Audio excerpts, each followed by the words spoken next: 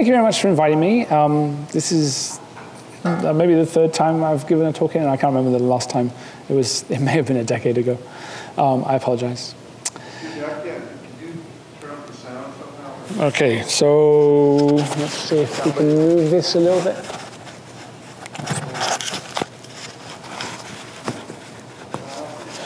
Okay, is that better? Yeah. If I, if I talk into my neck. Okay, um, so thank you very much uh, for inviting me. I've had uh, some very interesting conversations uh, today that range from the Great Oxidation Event to uh, fisheries in the, uh, in the Gulf of Maine. So that, that kind of spans a range. Um, I'm going to talk a little bit about how uh, paleoclimate kind of fits into our understanding of what's going to happen in the future. And one of the things that uh, is more often said than done is that the work that we're doing on paleoclimate is necessary to understand the context for what's happening today and will improve the predictions for the future. And I don't know how many times I've read that in a proposal, uh, but, uh, but the number of times that that's actually come to fruition uh, is many, many fewer. So I'm going to talk a little bit about why that is uh, and what the real problems are in, in, in trying to make that work, um, and uh, with a few examples of, of stuff that we've done um, in the meantime. So, click. Yes, it works. Um, this is obviously the, the real issue. Uh, if we had observations of the future, we would obviously trust them more than models. But unfortunately, observations of the future are not available at this time. right? It's not funny, it's real, right? If you're going to make a prediction for the future, it has to be based on something. That something is a model, whether it's physics or statistics or empirical or something, it has to be a model because we don't have any observations of the future. The whole basis of science is to make skillful predictions, right? Skillful predictions require a model of some sort. So, how do you make models better? How do you make models credible? And how do you evaluate the credibility of those models? That's the key question that we have. So um, this was this was understood uh, very many uh, years ago. Hutton, obviously the uh, the founder of, uh, of geology as a science, uh, said rather convolutedly, from what has actually been, we have data for concluding with regard to that which is to happen thereafter. in in 1985, that was shortened to. Um, why is this not working?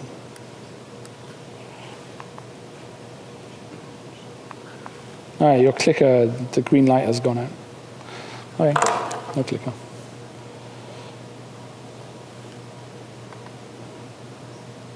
Okay, so there we are. That was a long time to get to a very boring joke. Anyway, back to the future, right? So that's the idea. We go back so that we can understand what's going to happen in the future, assuming not necessarily that everything is exactly the same as, as uh, in the past as it will be in the future, but that a lot of the things uh, are analogous. Uh, so one of the things that, that we've done uh, recently uh, is the one, this is going back a little bit. So uh, CMIP 5 was a big international collaboration of all the different modeling groups who did a whole bunch of very specific uh, sets of simulations, both for future predictions, for current climate, and for changes in the past.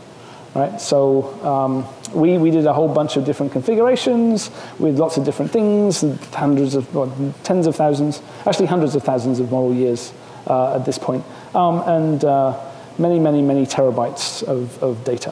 Far too much for us to uh, actually explore on our own. Now, the good thing about CMIP 5 was that it is an open data archive. So anybody can go in uh, and look at those data. They can slice it any which way they can.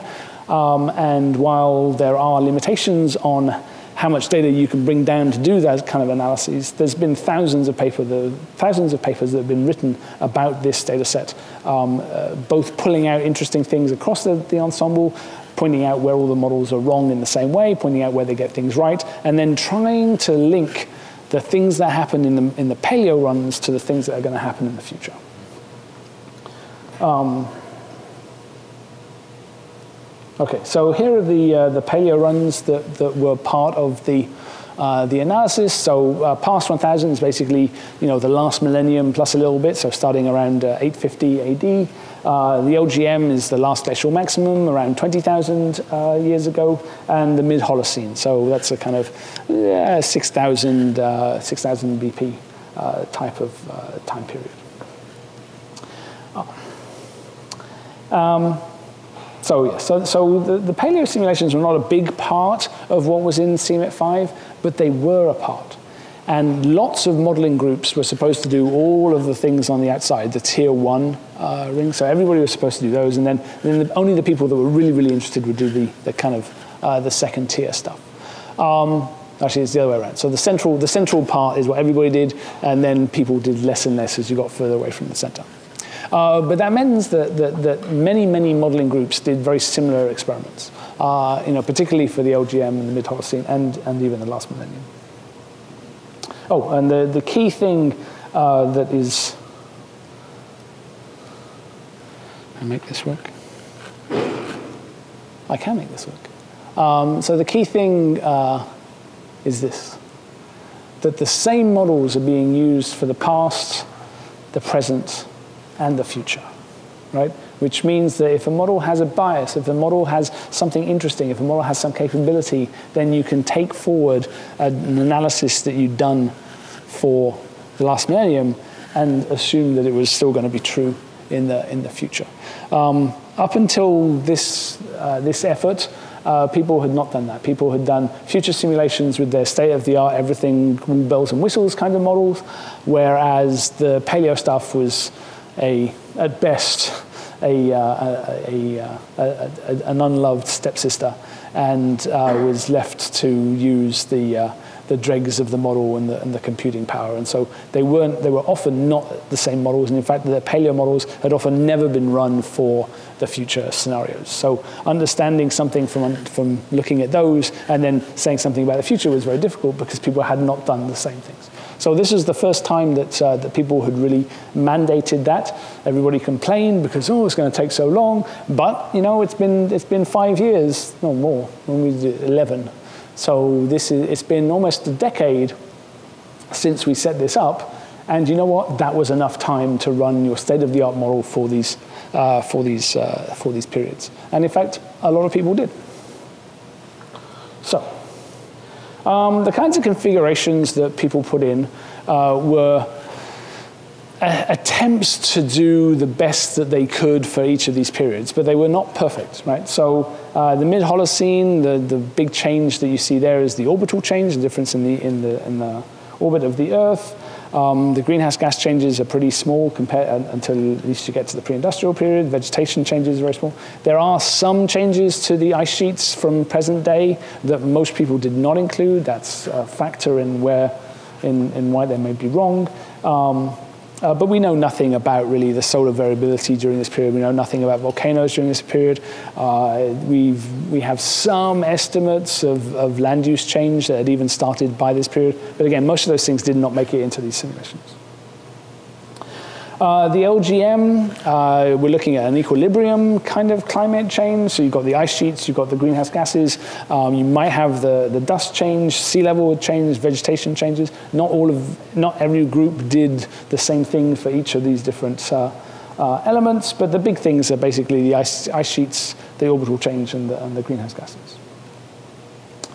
Uh, the last millennium, these are transient runs, so you start off, you know, more than a thousand years ago with the idea that uh, you will be able to see what the, the volcanic and the solar and the orbital and the greenhouse gases towards the end uh, impacts would have, including land use changes.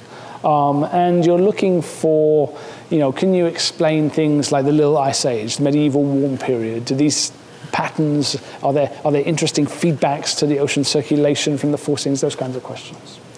Um, you're trying to see something about the, uh, you know, you, you, could, you could think about the, the, the frequency of, of large-scale extreme events like the mega droughts that, uh, that we see in the record for North America. You know, do the models produce such things at the right time, the right frequency, et cetera, et cetera. So there, there's a lot of different questions.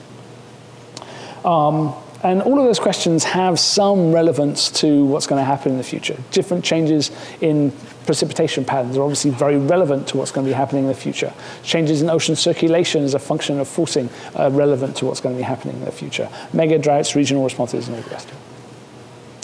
Um, and so, uh, you know, this is, this is a picture of, of how uncertain uh, some of the uh, uh, some of the, uh, the conclusions are, I mean, this is from AR4, but the picture didn't change in AR5 uh, at all. Um, so uh, where you have uh, the dots, okay, um, it's not really a, a, statement about significance of the, of the response. It's merely a statement that 80% of the models agree on the sign of the change. Okay, that is a very low bar. okay, let's, let's be clear. Um, this, this has the illusion of saying something very significant, but actually it is not saying something very significant. Um, and so, you know, what are, what, are the, what are the patterns that you get? So, you know, almost all the models agree that in the high latitudes you're going to have more rainfall. Well, that's kind of obvious because the water vapor is warming, uh, it, it is increasing, and so you have net advection to the poles, and so water vapor increases, so rainfall is going to increase, uh, rainfall and snowfall, right, precipitation. So that's, that's pretty robust. Okay, so all the models agree. Right on the equator, all the models agree that there's more energy, there's going to be more convection, there's going to be more local rainfall. Okay, again, that's something that uh, uh, it's a strong response, and the models all agree on the sign. And then if you look in the zonal mean, you can see the impact of this kind of horseshoe pattern here, where you get drying in the, uh, in the subtropics. And that's basically because the models all suggest an expansion of the Hadley cell, and so the downwelling parts of the, of the Hadley cell, you've got increased drying, that area is expanding to the, to the pole, right? So that's what you're seeing there. Um, but unfortunately, if you look at where there is no agreement, not even on sign, it turns out to be the really important places, right? So the US, uh, you know, pretty much the entirety of South America, Africa, right? Uh, India, uh, Australia, not even agreement on the sign, right? So that's, that's pretty poor because the number of people who are living in the areas where there's no agreement, you know, that's already 5 billion people, right? So, you know, you might think we could do a better job on that. We, well, we can. Hopefully. So why do, why do we care about paleoclimate? Why can't we just look at the data from today when we've got all these data? We've got satellites, we've got stations, we've got you know, ocean-going cruises. Why can't we just why can't we just stick with that? Okay. This biggest issue is that future climate change is out of sample. Right? There's, no, there's no observations in the instrumental period that we can calibrate or correlate to get to where we think we're going to end up by the end of the century. Not even the end of, by, by 2040. Right? By, by even, even now, in, in, uh, in many ways, we are uh, increasingly outside of the variability that, that existed in the instrumental period. And uh, that's A, terrifying, and B, it makes prediction very, very tricky, right? Because you don't only have to, you can't just interpolate between things that you've observed, you have to be extrapolating in new directions. In practice, what it means is that if I line up all the models for the 20th century, and, and, whatever metric you want, whether it's the trend, whether it's the climatology, whether it's the seasonality, whether it's the variability, whatever you like, I line all those models up, and I say, which model is the best? Uh, let's take the best five models in that particular metric. Well, it's a little bit awkward because if I take a different metric, it's a different five models entirely. And more to the point, those five models that I picked that are the best for that particular thing have, in general, projections that span the entire range of all the projections. So there's no actual correlation between the skill in any particular metric that, that you're looking at right now and what it thinks that it's going to be doing in the future. Right, so you say, oh, I'm going to take the models that have the best ENSO. I take the model that has the best ENSO and you know, a couple of others, and they're just as divergent as the whole ensemble. I haven't really gained anything. It's important to remember that paleoclimate is not an analog. Right? So where we are going in the 21st century has never happened before. Never, not ever. And so there's no time period that we can go in the past and we can just say, oh, well, it's going to be exactly like this. Because if we did, then we'd spend all of our time looking at that period and, uh, and we wouldn't bother with anything else. But many of the things that we anticipate happening changes in sea ice, changes in the ITCZ, changes in the Hadley circulation, changes in the ocean circulation. All of these things have happened in the past for different reasons. And so what we're looking for in paleoclimate is not an analog, but a test, a, a test drive of the same machinery. Um, obviously, we care about climate change and paleoclimate because we want to understand what happened, right? So that's, that's usually the reason why we're doing any of this. Um, but we need, to, uh, we need to move on from just being interested in the past for its own sake. And uh, when, I have, when I have ever talked to program managers who have the big budgets, right? So not the program managers who run the paleo program or the geology program, but the people who fund them and the people that fund them. Their interest in paleoclimate for paleoclimate's sake is very, very close to zero. But you can get them very, very excited if you tell them very specifically how understanding something about paleoclimate is going to make an, a difference to a prediction in the future. What do you need to do this kind of stuff? You need data synthesis on the paleoclimate side. Now, a couple of the conversations I had this morning were really all about this and why it doesn't happen enough. It doesn't happen enough. More data, more synthesis, more better understanding of the uncertainties in those syntheses. Climap, Margo, DASMAP, um, uh, Pages 2K, uh, all of these things are totally necessary uh, before the paleo stuff is going to really get into these kind of analyses. Um, we need massive improvements in, in archives and databases. We're moving that way for the last millennium. We're a long, long, long way from that in terms of deeper time or, uh, or the ocean, uh, ocean uh, drilling program uh, data. Um, and we need more connection of the paleo modeling to, to the CMIP archives. We need to do better paleo models. We need to do uh, more uh, realistic paleo simulations that include all of the things that we think have changed, not just the things that are convenient for the modelers to include. Uh, and we need to use a lot more forward models. Like, do you really understand your proxy? Right? Do you really understand your speleothem, your marine sediment core, your, uh, your ice core? What are the processes by which these things are being recorded? We need to understand the systematics of water isotopes. We need to understand uh, how the carbon cycle works if you're going to be looking at carbon 13 excursions. We need to understand the biology if you're looking at um, uh, export production, etc. Right. So, um, generally speaking, when you're doing a simulation for paleoclimate, there's like three different things that you can do. You know, one, and this is obviously the, the easiest one, uh, is that you run something for the Cretaceous or for the last glacial maximum or for whatever, and you compare it to the data that exists uh, there. And the idea there is like, can the models just simulate the changes that we're seeing, right? Even in the grossest scale. Um, questions that you can ask is can you distinguish between different models, different forcings, different responses so that you can test the hypotheses that you might have had uh, for why anything changed uh, for any particular reason? Can we explain what happened in the past? Right? So that's, those are all great things to be doing with, uh, with paleo models. Um, the second uh, thing to do is to look for things that are robust across time. Right? And I'll give you a couple of examples of that. If we can find features, large-scale features, large-scale emergent features of the, of the climate system that held true in multiple periods of the past, that are true today, what can we then say about those changes in the future? Right? And so I'll give you some examples of how that works. And the third thing you can do is that you can try and use the model's skill at, predi at predicting what we know to have happened in the past to say something about the future. Now, the reason why you might think that that is uh, more hopeful than doing it in the 20th century is because the changes are much bigger at the LGM than they are from 1950 to 2000, right? So when you're talking about large changes and you need to have credibility for the large changes that we're going to see, you need to find out of sample tests that have an equivalent magnitude. Right? So the LGM is great, the Pliocene is great, you know, even the Eocene and the PETM, these are great, big, large effects that if we could have confidence that the models were doing those correctly, we would have a lot more confidence that the models are projecting what's going to happen in 2100 correctly. So here's, uh, here's some examples.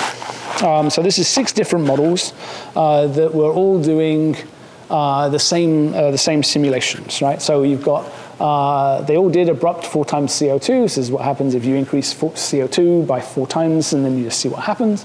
Uh, 1% increasing CO2, slightly different variation on that. Uh, here are the historical runs, so that's from 1850 through to, this would have been to 2005. Um, and then they did the mid-Holocene runs, and they did the LGM runs, right? So uh, you have here a data set where all the models did the same experiments, and you can compare these things in, in a in a very interesting way. So, uh, you know, can you see some obvious connections? Right, so uh, things like, uh, so this is, this is the mean annual temperature in the SST, this is the maximum temperature, this is the, of the cold period, this is the maximum temperature of the warm period, and this is the seasonality, right? So even here, like you compare the abrupt four times CO2 to the change in seasonality in the LGM, these things look like their mirror image, right, or just inversion. So that means that you can go to the LGM and be able to say something about the seasonality that that same model is going to predict for the future. And if you can constrain it to what actually happened, right, you might be able to get a better sense of what will happen. Um, so we do, uh, so here's some of the, the LGM comparisons to the observations, and, and you can see a little bit about what the problem is. Okay, so uh, the dots here are the, uh, the data sets from uh, Margo SST and the uh, and Bartlein uh, uh, pollen pollen data. Um, you know what you're seeing here doesn't look terribly surprising. It's much colder in North America because there's a huge ice sheet there, but that's also where there's no data because there's a huge ice sheet there. Um, places in the tropics where we have some of the data, you know, the patterns in the data don't look brilliant, and they don't all look, they don't all line up. Particularly in the North Atlantic, there's a lot of things that don't line up at all. Um, uh, if you look on land, it looks a little bit better, but there the signals are, are, are, much larger. So you might think, on average, we're not doing too badly. The planet is about five degrees colder than uh, than it was. Um, uh, but in, in the details, uh, you're, seeing, you're seeing some things which don't look quite right. Um,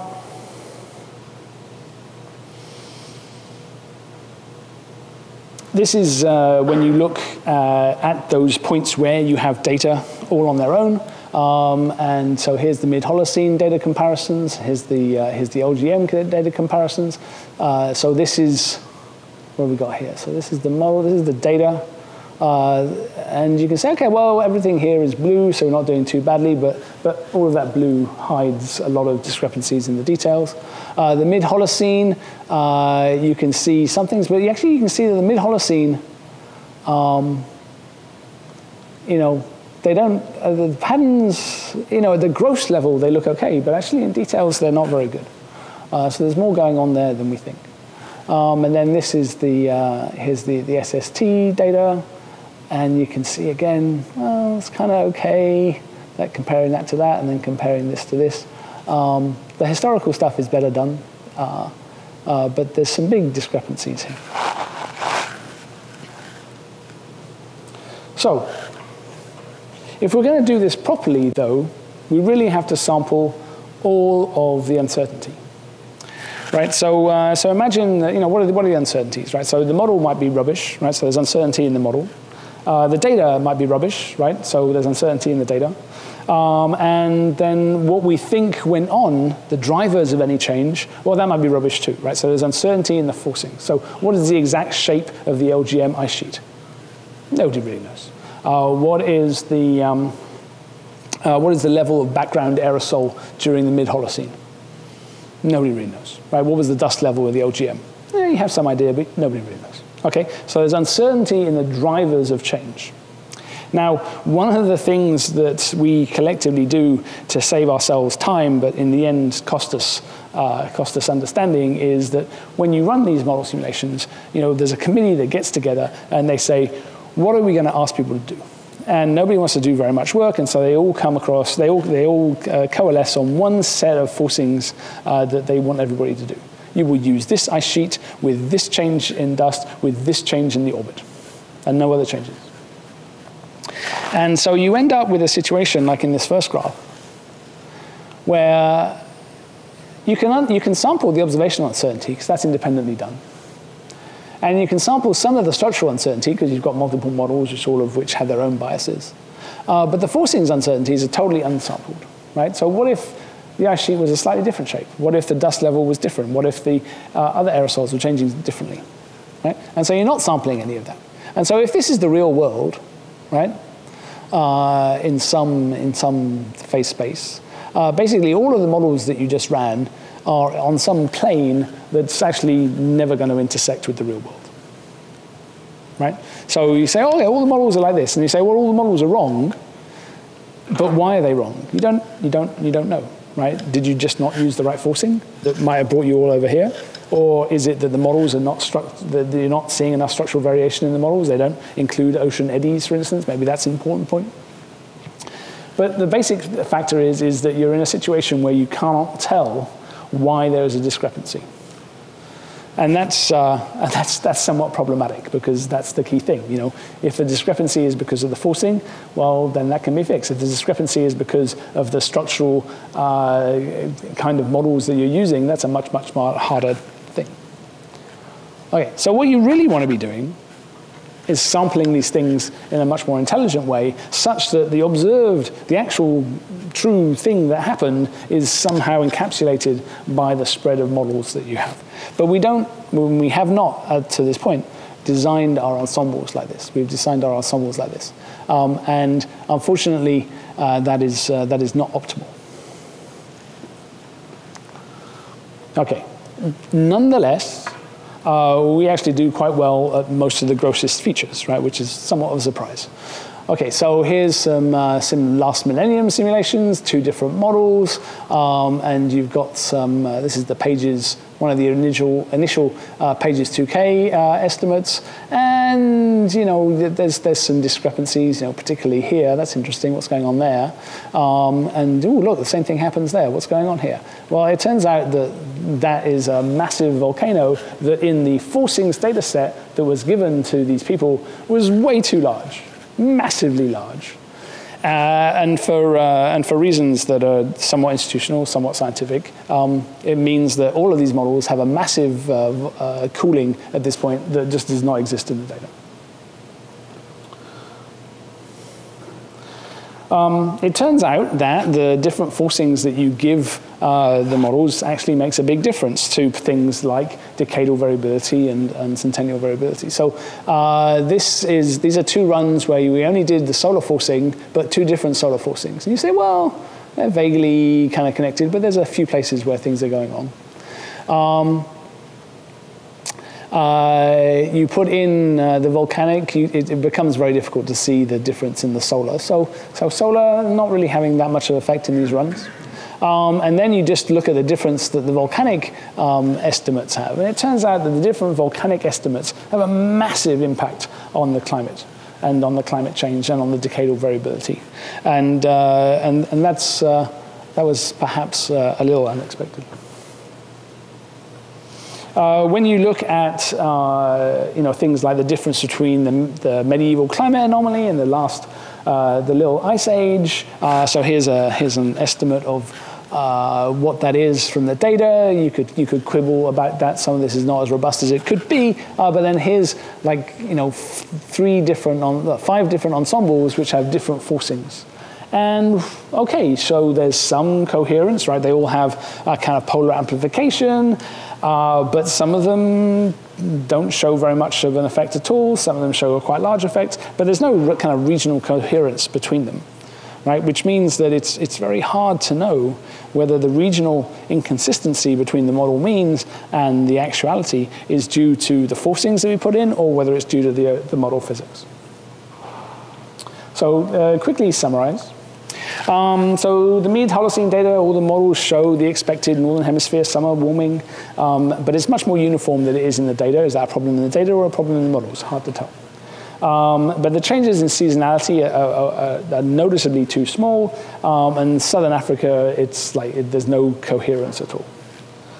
Um, the LGM, of course, the LGM cools, that's fine. Uh, there's too much cooling in the tropical Pacific uh, compared to data, but uh, you know, the, the North Atlantic um, does something weird in the data, it doesn't do it in the models. Uh, and again, each one of these is like, is there a problem in the model? Is there a problem in the proxy? Is there a problem in the forcing? Unclear.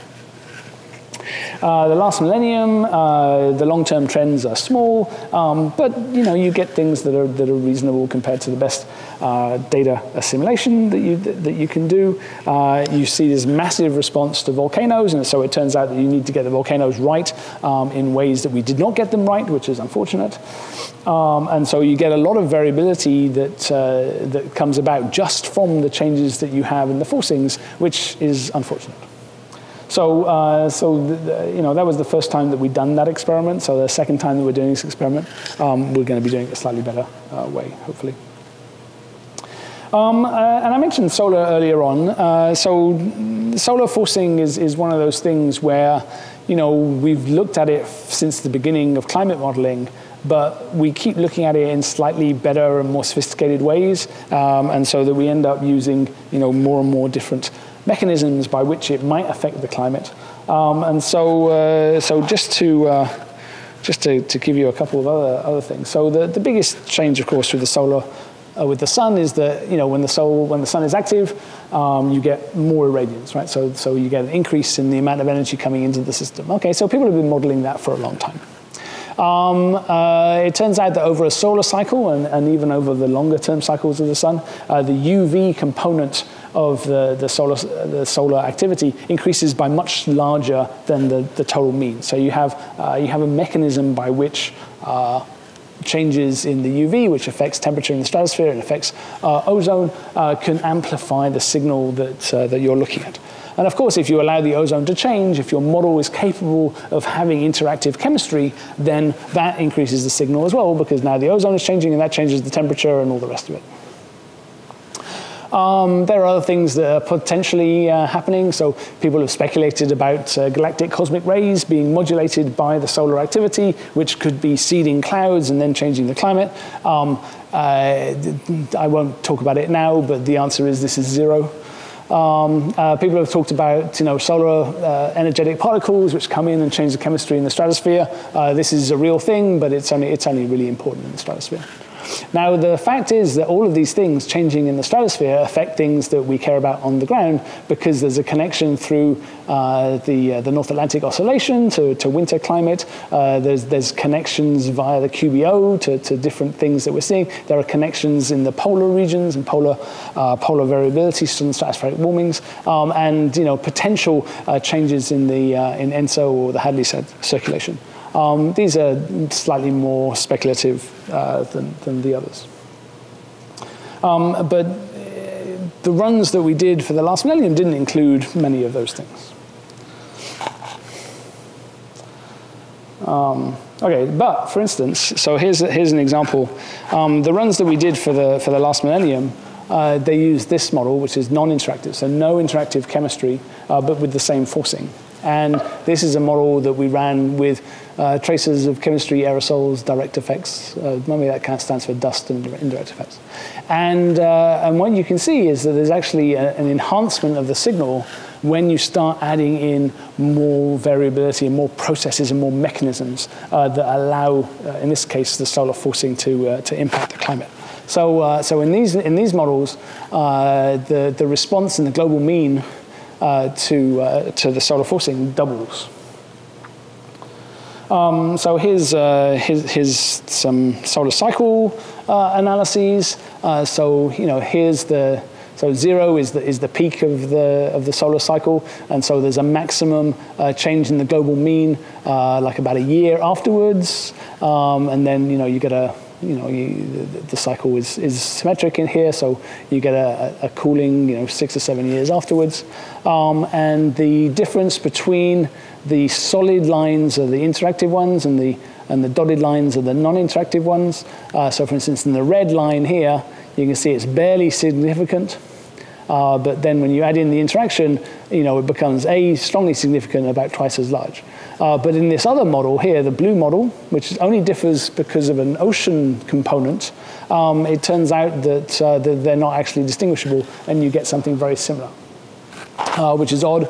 Um, and the, but this and the uh, but you get this very different response uh, in the uh, in the, in the cool period too. And it turns out to be related to how they interact with the, with the sea ice in the southern hemisphere, which in both of these models was total crap. So it's very hard to know exactly what's going on there.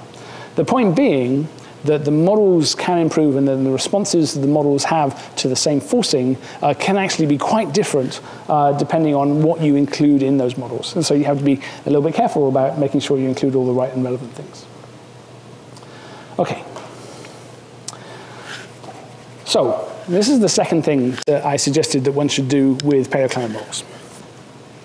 What we're looking for are metrics that show similar behavior in the past and in the future. And if we can constrain that behavior in the past, we might then be able to project that change in behavior in the future in ways that perhaps don't depend on the details of any particular individual model.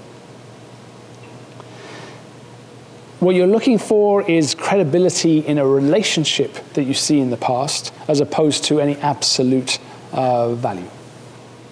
So, uh, for instance, uh, this, uh, this is a, a, graph that uh, Camille Ricci uh, put together, and what it shows is that the uh, the change in the uh, surface, sea surface temperature in uh, this is the northern hemisphere minus the southern hemisphere, so it's the inter interhemispheric temperature gradient um, will cause a shift in, in the ITCZ latitude um, in, in a relatively predictable manner across a whole different set of models, across a whole different set of time periods, right? So not just one time period. So here's, a, here's an example of, of, what I'm looking at. Um, if you, uh, you might be aware that, uh, uh, that future predictions predict that the land is going to warm uh, more and faster than the ocean, right? And you think, oh, well, it's kind of a, uh, you know, thermal capacity thing, but it's actually, it's actually more than that. So even at equilibrium, the warming over land under two times CO2 is larger than the warming over the ocean. And it turns out that that's a very, very robust result, even if you go back to uh, very uh, cold periods, right? So uh, here are uh, uh, four different sets of runs, right? So the red ones here are increasing CO2, uh, either slowly or abruptly. the green ones and the mid-Holocene are you know, close to present and historical mid-Holocene. And then you've got the LGM, which are the cold ones down here, right? So it turns out that if you put a line through all these data, um, it's actually uh, it's actually pretty coherent, right? So this is something that is a robust uh, relationship that you see across many models. So this is six different models. Um, the same, you see something very similar with um, latitudinal amplification. So polar amplification. How much warmer is it in the poles than it is in the uh, in the tropics? And again, that's something that turns out to be quite robust. And so now you can say, okay, well, let's put in some observational constraints. Do we have information about the land-ocean contrast, um, perhaps not globally, but, but regionally, right? So uh, this is the, uh, the land-ocean contrast, and now we're just uh, looking not at all the data, but just the data where there are uh, observational constraints, right? So the observational constraints are the, uh, are the dark blue crosses in here. And, uh, and then this is the same, these are the same models. So this is, uh, you know, the, the modern models, these are the, uh, uh so, so we've got a, the real data in there and in there. And you can see that as an ensemble, the models capture this particular relationship. Um, and the same is true for the polar amplification, right? So where we have data, the model pattern that we've just shown is robust across the future and the past, is actually supported by the observations where we actually have observations. And that allows us to say something credible about what's going to happen in the future. Okay. Uh, so, uh, so for instance, um, uh, this, is, uh, this is basically the same thing, but for a different region. This is the North Atlantic and Europe compared to the tropics. Uh, so here's the temperature difference over land. On this side, here's the temperature difference over the oceans, and you can see again there's a very nice uh, relationship, and then there's the observational constraint that's coming in from the LGM. Now you notice that the models are not directly on that point because they show different levels of cooling or warming uh, depending on what forcings they use, but the basic overall pattern is very, uh, is very clear. Uh, this is in the tropics, and this is in the North Atlantic again. So here in the North Atlantic, all the models are too warm, uh, and in the tropics, all the models are too cold, uh, but still that, that relationship is still robust. Now, if you're going to use paleoclimate to distinguish between models' uh, skill, or to say which model is, is the right model to use, even though that's a, an odd question to be asking at this point. What you want is not this. If the future changes that, you, that you're predicting actually have no correlation or relationship to the skill of the model uh, in the past, uh, then you, you, learn, you learn nothing. Right? So that's not what you want. What you want instead is to find features where the future change is correlated to the skill in the past. Now, it doesn't have to be linear, it just has to, there just has to be a relationship that makes some sense. So if you have, if you have that, that that's no good at all. Now, the problem with a lot of the work that's been done where people kind of like somewhat ad hocly decide that this model, I don't like this model, it doesn't have a good enough ENSO, I don't like this model, it doesn't have a good enough monsoon or something like that. I'm just going to throw it out, I'm just going to look at these other models. Um, is that they're basically assuming this kind of relationship. They're basically assuming that the skill is tied to the future prediction. And therefore, by looking for the skill, they'll be able to get a better, uh, they'll be able to get a better estimate of what the future is. Unfortunately, people don't test this, right? I mean, not everybody, obviously, but people assume this without testing it. And it needs to be demonstrated that the way that you're winnowing the models or the way that you're weighting the models actually has some correlation or relationship to the thing that you want to predict. And, uh, and, and, people, uh, generally speaking, have not done enough of that, but, but people are getting better. Uh, so, for instance, here's, here's an example that, uh, that we worked on. Um, here's the modern sea, uh, seasonality in Arctic sea ice across the ensemble. Okay, um, the the data is in there somewhere. Is the data in there somewhere? No, the actual observations are not in there somewhere, but they're kind of in the middle. But there's a big spread in how much sea ice the different models show. If you look at how much change there is in the sea ice, uh, say by around 2050, so you haven't lost all of the summer sea ice, but it's on its way um, you know, you get, you get a, a, a, big mess, right? So, you know, this, uh, these changes here, you know, this is millions of square kilometers. Um, and so this is a big difference between here, where you still got quite a lot of summer sea ice, to here, where you have none. Okay, so there's a big change. And you say, well, can you make, can you make a better, can you make a better estimate of that? So one of the places that you might look for that would be in the mid-Holocene. So we know with the mid-Holocene that uh, Arctic summer sea ice was less than today. Uh, we have, uh, we have mid-Holocene dated beaches in Greenland that are today still totally encased in ice. Right? So we know that there were um, warmer periods within the Holocene, uh, perhaps in the early Holocene as well, where we had less sea ice than today. Can we use that connection to say something about the skill in these models here? Uh, so we can look at these same models and we can look at those same models and how they responded to the mid-Holocene change, which is driven mainly by orbital forcing, right? So rather than greenhouse gases. And you can see that the picture is slightly different, right? But uh, is there a correlation between the sensitivity of the models in the mid-Holocene compared to the sensitivity of the models in the future? And the answer is uh, no, not really. Uh, so this is rather unfortunate because we thought, oh no, we're, good, we're onto something here. We can, we can do this. Um, uh, and it turns out that like these two, I mean, if you join, if you did a linear regression through this, uh, you get something that's significant. But it's obviously something that's tied quite strongly to, uh, to these three down here, and, and the spread here is, is, is very large. So um, we're still working on that. There may be something there, uh, but it's, it's not quite as easy as we thought it was going to be. Um, we, can, we can try using the LGM, for instance, just to constrain uh, climate sensitivity. So this is, a, uh, uh, this, is, this is work basically by uh, James Annan and, and Julie Hargreaves. Uh, so here, like the dots here are, the blue dots are individual models, and the red dots are a kind of Monte Carlo simulation of what they uh, should look like. And there is a correlation between how cold it gets in the, in the tropics and the climate sensitivity of the models. Right? It's not a great correlation, but it exists. And then you can say, okay, well, given that we know something about how it cooled in the tropics, even if the models didn't do the right thing, but we do know that the model that what what the cooling is, assume, assuming that the that the data set is, is correct, uh, can, you, uh, can you then constrain the climate sensitivity based on what we've observed for the cooling? And the answer is yes, you can actually, um, but it doesn't constrain it very much. So uh, the green is the prior distribution that you get just by averaging the models. So this is just a histogram basically of the models.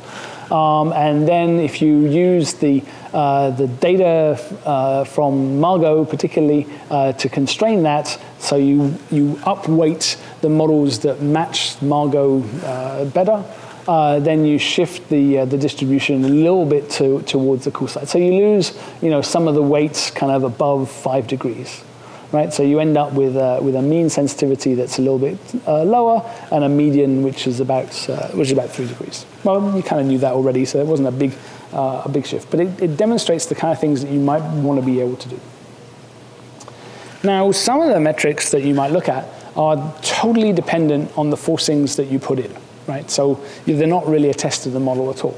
So for instance, if you look at um, decadal and centennial variability in these runs, you get a huge spread, right? So here's the period.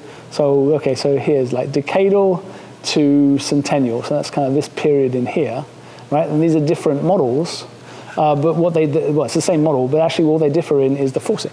So how much volcanoes do I put in? Like radically changes my decadal to centennial variability.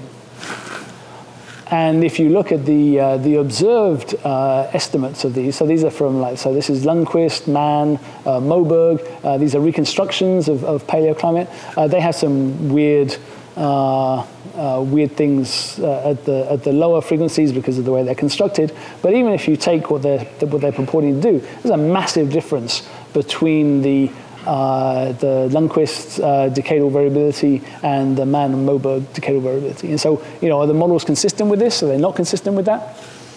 It, you know, it's very hard to tell at this point. So, let me conclude. Um, the multimodal ensembles that we put together for CMIP 5 and, and, what we will put together for CMIP 6 do a reasonable job of kind of zeroth order uh, simulations of past climate, and particularly the, uh, the, the periods that we selected. Though there are still systematic differences. Uh, you know, so you can go to any of these and you can look at the model ensemble means and you can say, oh, well, all the models do this wrong, all the models do this wrong. So there's still work to be done. The key thing to remember is that these paleoclimate tests are out of sample. None of the modeling groups tried to get a better simulation of the last glacial maximum as part of their model development, right? So this is new data and in a kind of classic philosophy of science way, you know, it's data that has not been accommodated to, right? So if you get a good estimate of what's going on there, uh, that has more credibility than data that you embedded within your system right from the beginning.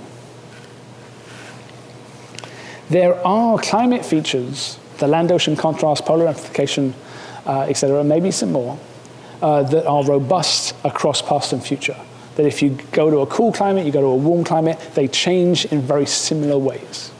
Right? That is useful because that tells us that it doesn't really matter exactly how things are going to develop, but these are the kind of features that we expect and that these things are robust. So we do get some constraints on future projections from these paleoclimate experiments. But this is really, we, we like, you know, the, the, the, paper that I've been citing, the Schmidt et al. 2014, uh, really it was, it was just a, uh, you know, like a, a skim across the top of what could be done. Putting paleo into the CMIP5 process was a hugely positive step, not just for people that care about paleoclimate. But it was hugely positive because it brought in these out of sample tests into the mainstream. People that do not care at all about paleoclimate are suddenly running paleo runs with their models in order to just kind of get along with the community. And that was very, very useful. Um, there's a number, a number of periods that we're going to be doing more of uh, that, that tell us a little bit more uh, in detail about other things like the Pliocene, right? the last time that CO2 was, in fact, uh, greater than 400 uh, parts per million, as, as, as, far as we can tell. The last interglacial, when we had you know, massive changes in Greenland uh, with only relatively modest changes in the orbital forcing and almost no changes in greenhouse gases. Uh, things like the 8.2 kiloyear event, where you've got a massive, quite, no, massive, it's 50 centimeters of global sea level rise, that's massive, right?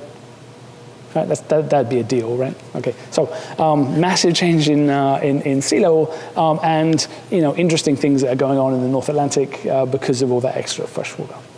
Uh, so we can do more of that. But a lot of the things that we really need to be doing, we can't yet do. And the reason why we can't yet do it is because our ability to analyze our three petabytes and growing very, very fast data set is that nobody can download three petabytes onto their hard drive and do the analysis they want to do. Right? If you want to do something that's process-based, where you're scanning through all of the all of the model runs and you're trying to pick out you know an event like a big El Nino or a mega drought or a, uh, uh, big deep convection or a hurricane or anything that you actually uh, might think of and you want to do it in an efficient way, and then you want to see what the multivariate response is to any of those particular processes, it's almost impossible, right? Because you would have to download far too much data uh, to be able to do that. Our institutional uh, setup is to provide data archives where you can download as much data as you want.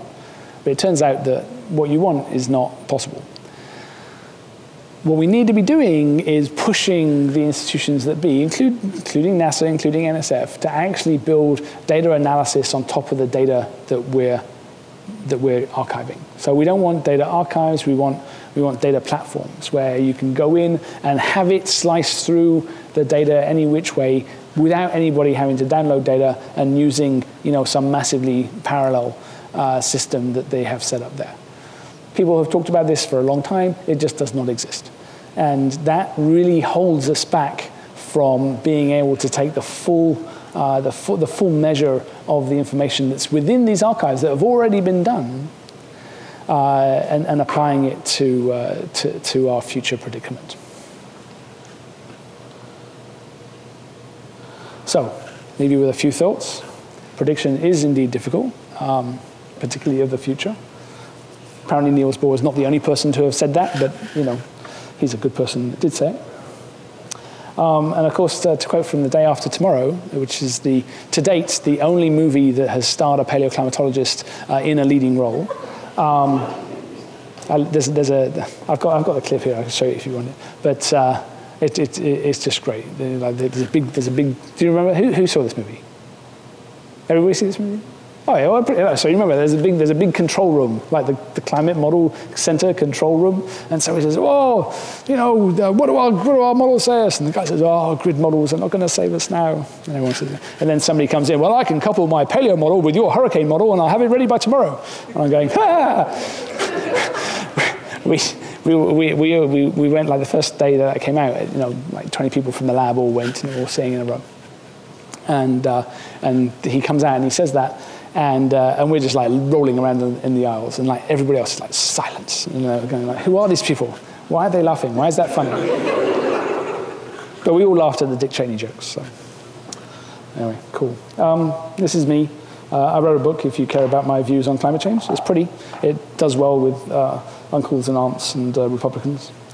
Um, and if you, uh, if you care about any of the other things I talk about, um, I tweet quite a lot. Um, climate of Gavin um, and uh, my blog, which has been going, when we start? We started in 2004. So 14 years I have been blogging about climate science um, and some of the interesting things that occur, um, both as a function of the blog and outside of the blog, um, occasionally worth looking at if you care. Anyway, thank you very much.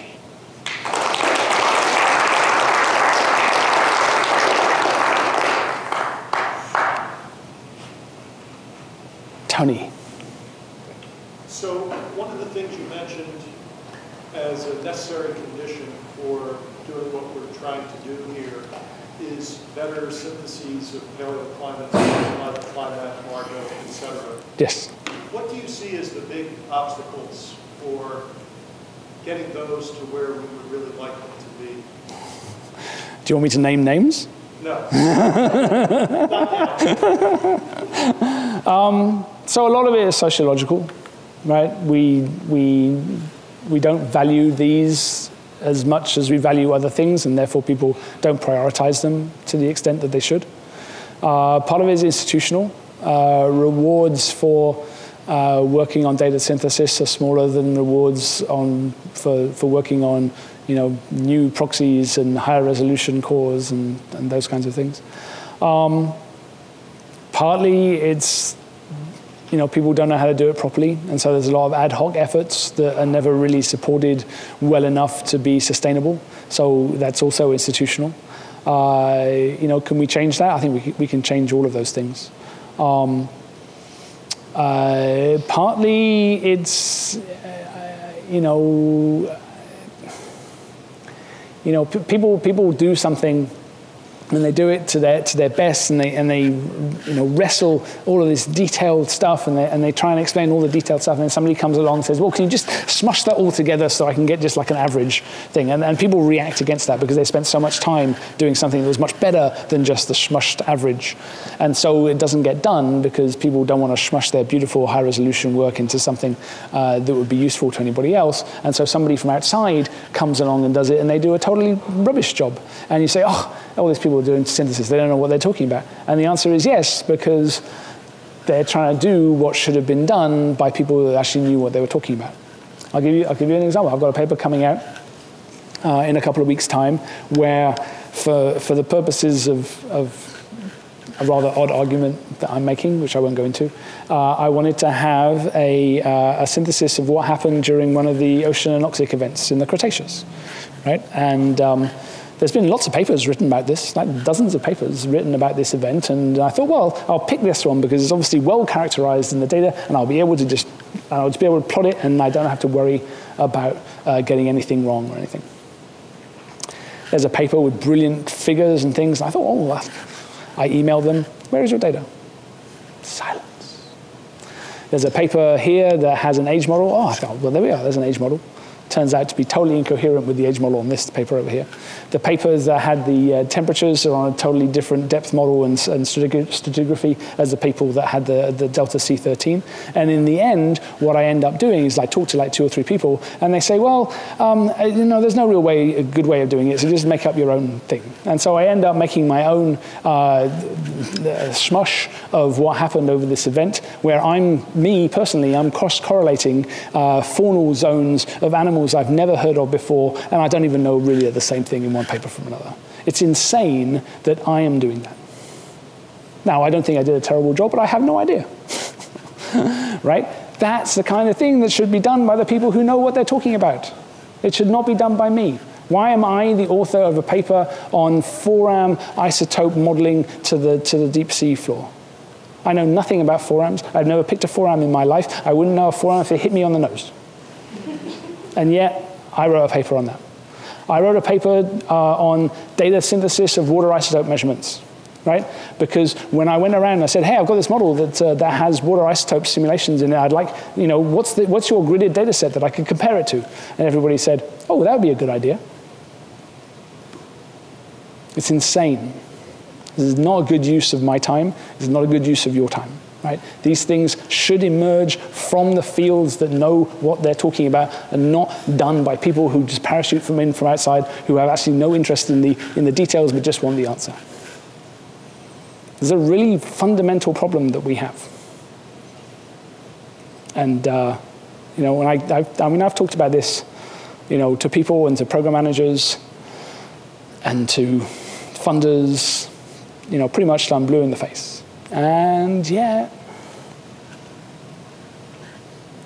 you know, people think that the federal government moves slowly. I'll tell you, nothing moves slower than the scientific community. Does that answer your question? All right, because I can name names too. so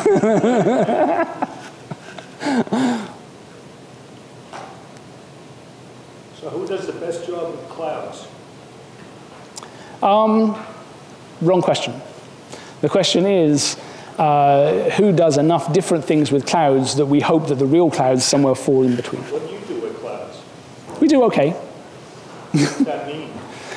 it means that uh, for, some, uh, for some metrics, you know, if you look at, for instance, the uh, optical depth versus pressure diagrams, you know, we're pretty good except for a couple of uh, things associated with low clouds in the, uh, in the stratus regions, right, which nobody is getting right right now. But, you know, our next model will do a much better job. Um, we, we, we have to get past the idea that one model is just going to be the right model, right? That, that, I don't think anybody really believes that anymore.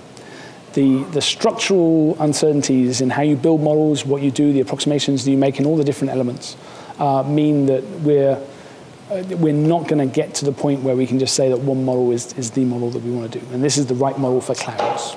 So if you care about clouds, if you care about um, you know, clouds and CISOs, you have to be looking across a range because the, uh, you know, one model might have a really good simulation of, uh, you know, the convective anvils. And another one might have a really good simulation of the low stratus, but the, the things that control these things are different. And so there's no guarantee that both models are going to have, you know, the one model is going to have both of those things.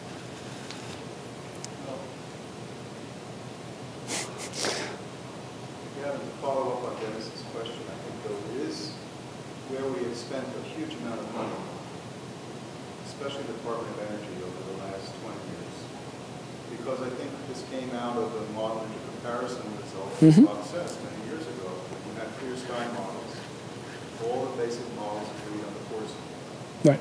When you put in clouds, the uncertainty was incredible. Yes. And I think we spent, I don't know the exact number, but it's on the order of it's more than a billion dollars. Mm-hmm. So, mm-hmm. um, have we done it? So uh, I can show you a slide from our latest work. Um, and, and, and it's again, it's, it's like this kind of progression to synthesis. So you take all the different ARM sites, you take all the different um, uh, kind of single column, you know, massively uh, instrumented uh, examples. And we have, you know, we have things for off the coast of Africa, we have things in the Great Plains, we have things in the Arctic. We have, you know, you put them all together and you, uh, and you try and create a, uh, a single global parameterization or set of parameterizations that fit all of those independently right? Without, you know, so you can, it's easy to tune to one case, right? But if you try and tune to all of them at the same time, it's almost impossible. So you basically, you have to rely on your understanding of the physics to get something that works. Um, we've been able to do that. So, so the next version of our model, which, is, which will be GISS 3 um, our, uh, our ability to match like the, the, all of those data across a whole suite of, uh, of different climate types uh, is better than it's ever been and by quite a lot, right? So uh, that data, synthesizing that data, making sure that you can do all of those experiments, building a single column model within the GCM so that everything is exactly the same as in the GCM, all of those things have taken time, uh, more time than they should have taken, but anyway, but, but we can use them. And we, and we can uh, use them to demonstrate uh, that the models are better than they used to be. So it's not wasted money. It's not wasted. No. No. So but play a devil's advocate because this question was asked of me several years ago um, by a Nobel laureate physicist. If I were to give you a billion dollars, what would you do it? I'll give it to that guy over there. Yeah, no. no. A billion dollars? Um, the first thing I would do is I would build uh, uh, supercomputers on top of data archives because the amount of uh, data that we're bringing in, not just from the, the, the, climate models, but from the reanalyses, from the uh, satellite data, uh, and our ability to, to search through that for interesting processes that would be the equivalent of all those different ARM sites, um, is, is pitiful. And so my first chunk of change would be on that. Yeah. Again, going back to what you said about the data, is, is, is the biologist a good example, like the data banks that they have?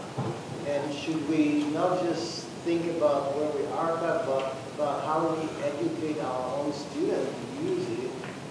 Right, so, so the state of genomics uh, databases, which I'm not sure, is that what you're talking about? Yeah, yeah. so that, that's actually that's actually pretty good. Um, so pretty much everybody is putting in their data as soon as it arrives. Uh, people are finding mistakes. People are fixing mistakes. Uh, people are being able to mine it very intelligently. Uh, so yes, uh, that, that seems to be a good path forward. Um, part of that uh, effort there is that there are very strong and large monetary rewards for people who can mine it most efficiently, and that seems to concentrate the mind. Um, to the extent that, that we don't quite have the same incentives in climate, uh, it might not happen the same way. But yes, I mean there are, you know, th- these are things that are happening in other fields um, as, as well. Is there any discussion of the NSF over there? Uh, Uh, I would, I don't know. I'm, I'm not privy to that.